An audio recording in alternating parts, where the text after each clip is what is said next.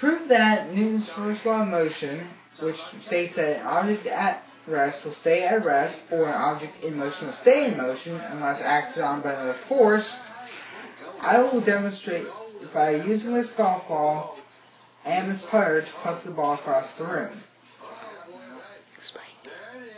When I hit the ball, the, the outside force brought by this club will cause the ball to become in motion. However, another outside force, friction, will slow it down to be at rest again.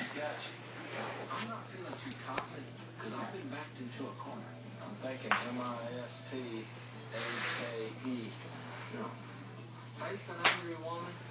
do something desperate.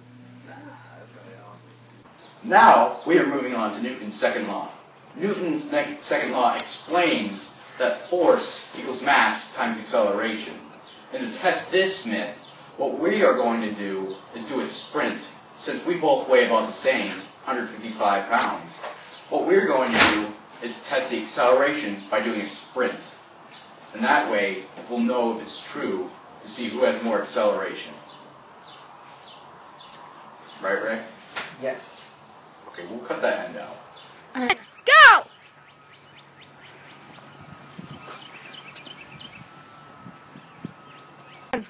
Now, to prove that there is no funny business to the amount of mass we both have and weight, we're going to prove this by using this teeter totter to prove that we both weigh about the same. To prove there is no funny business about me being lighter than him from any result, or him being lighter than me, or him being a lot more weight than me. Alright? We will prove this now. One. See, this actually does prove that we weigh about the same because we're both applying the same amount of mass and weight to both sides.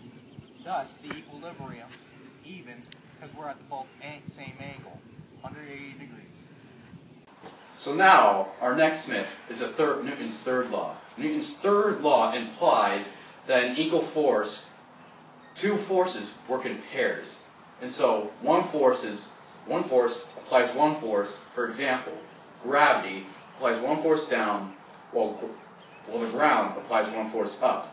And so in this next experiment, we are going to use a bowling ball, a sandpit, and gravity to work in two pairs to explain to see if this myth is actually true.